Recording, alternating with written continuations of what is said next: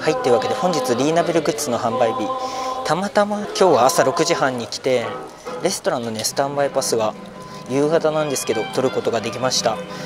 ミゲル・セルドラド・キャンティーナだと全部のスーベニア買うことできてこれで合計約9800円でした。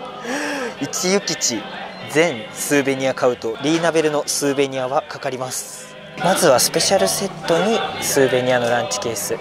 でドリンクに対してこちらのスーベニア。リーナベルのスペシャルドリンクに対してこのリーナベルのスーベニアカップ。いつものムースとムースケーキもスーベニアプレート。スーベニアカップとスーベニアプレートが付けれます。他にもクッキーサンドに対してこのいつも出るミニスナックケースが付けれます。最後はスナックケースはチョコレートに対してリーナベルのミニスナックケースが付けれます。それではまずランチケースに付けられるピタサンドいただきます。セット商品にしか付けられないんだね。でミゲルズはもう1個ねプレートみたいなのが出てたんだけどそのプレートもね気になったんだけどさすがにねこの量食べれないしそのプレートは付けられなかったからミゲルズのランチケースはこのピタサンドしか付けられなかったです。ピタサンド中見ていきましょう。タサンドの中こんな感じです。ミゲルズらしいちょっとチリソースというか独特的な香りです。いただきます。濃厚なケイジャンソース、うん、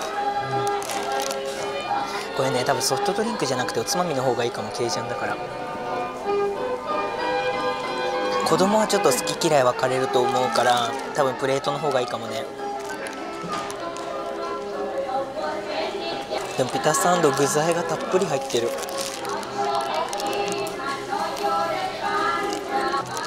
中がビーンズカレーが入ってんだけどそこまで辛くない。どっちかっていうとねカレーの味もするけどケイジャン風味の味が強い。チーズもあんまりしないかな。うん。ケイジャン風味が好きだったら全然食べられると思う。美味しい、うん、メキシカンっていうかミゲルスらしいね。美味しい。なんか朝食でも全然いける。うん。あでもちょっとねチリソースかな。ちょっとピリ辛。多分このケイジャン風味なんだと思う。カレーじゃなくてねケイジャンだと思う。ちょっとピリ辛。えでも全然食べやすい。これは割と好きですね。今公式サイト見たら辛みのある豆使ってるみたいで他にもね人参とかお野菜もたくさん入ってます。割と好きです自分これ、はいということで食べた感想としてはもう絶対にビールを頼んだ方がいいセット。ピタサンド自体もちょっとね味の癖はあるけど、まあ、ミゲルズらしいというか個性があってよかったしもう何よりこのアボカドチップスの量。もうこれ絶対ねビールがあった方が組み合わせいいしちょっとした午後の休憩とかにもいいんじゃないのかなって感じました。個人的にはおすすめ度星3点満点なら2.5です。次はリーナベルのドリンクいただきます。リーナベルらしい色合い。香りどんな感じなんだろう。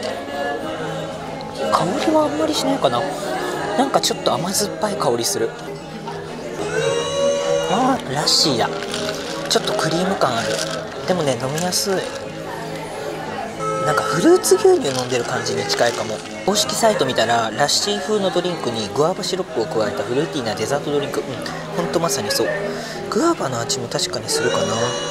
他にも確かにこうルイボスティーゼリーとかブラックタピオカとかあとマンゴーとかもあるから結構ね甘さとクリームさとフルーティーな感じに仕上がってます。ラッシーだけど飲みやすいね。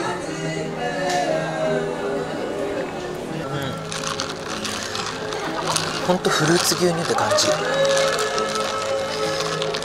フルーツ感も結構ある。これ1杯だけで休憩にいいかも。めっちゃ美味しい。あやっぱタピオカは甘いね。個人的にはとっても飲みやすい味でした。それでは次はクッキーサンドいただきます。こういうクッキーサンドってさ前なんかロッツォの時出てた。ロッツォというかピクサープレイタイムの時出てたよね。ちょっと懐かしい感じ。あてかチーズのいい香り。いただきます。うん。てかこれすっごいうまい。外側のクッキーがねしっとりめのクッキーなんだけど中のチーズが本当にまろやかさがあってバニラ感がすっごいある。甘さはねそんなにないんだけどクリーム感がとにかくすごい。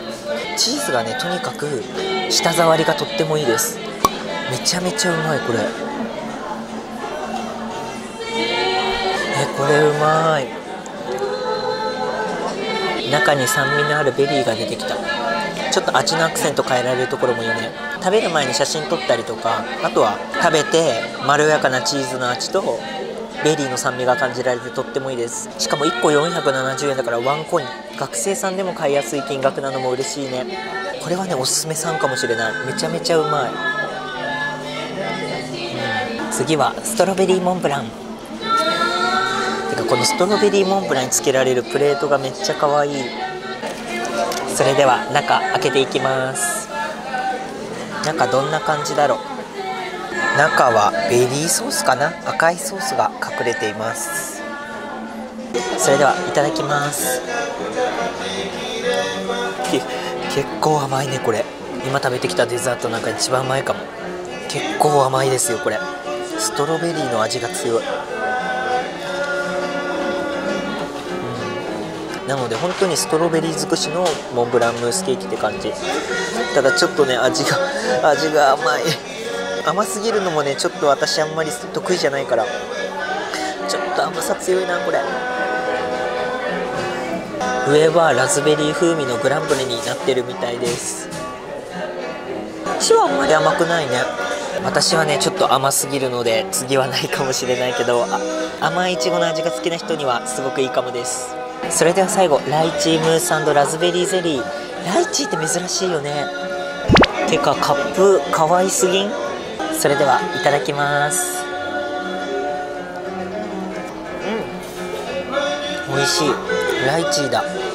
酸っぱい。酸っぱいっすね。下いただきます。こっちも甘さ抑えめ。あこれすごい食べやすい。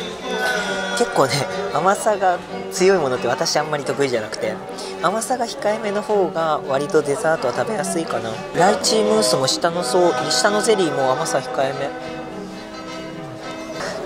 ただちょっとね周りのこの上の部分も甘かったりするからまあさっきのストロベリーモンブランほどじゃないけどちょっとね甘さは強いかもしれない、まあ、だけどライチムースってちょっと新鮮だしあんまりパーク出ないし新鮮さあるところいいよね。まあ、だけどこれね全部頼むと本当にね甘いの続くからやっぱりよくパーク来るリピーターの方は今日はこれだけって決めた方がいいかも。結構甘いかもしれないな、うん、ちょっときつくなってきた。はいということで全ていただきました。全ていただいた感想としては、まあ、ピタサンドが美味しかった。ピタサンドは結構なんか、まあ、とね癖はあってお子様はちょっと好みあるかもしれないけど割と軽食感あって良かったなって思うしあとはやっぱりスペシャルドリンクあとクッキーサンドも美味しかった。1位2位3位でいくんだったらもうダントツで1位がスペシャルドリンク2位がクッキーサンド。で3位がピタサンドって感じです。ちょっと今日は時間がなかったりもうお腹いっぱいだったりしてるのでまた機会があったら次はリーナベルのねプレートスーベニアランチケースつけられなかったのでまた次もねリーナベル他のメニューもあるし機会があったら食レポしていくので楽しみにしてもらえたら嬉しいです。それではまた動画更新します。最後までご視聴いただきありがとうございました。この動画良かったと思った方グッドボタンチャンネル登録のボタンお願いします。Twitter、Instagram、TikTok 動画の概要欄貼ってあるのでフォローお待ちしております。それではバイバイ。てかどれも可愛い。スーベニア。スーベニアがめちゃめちゃ可愛いよ。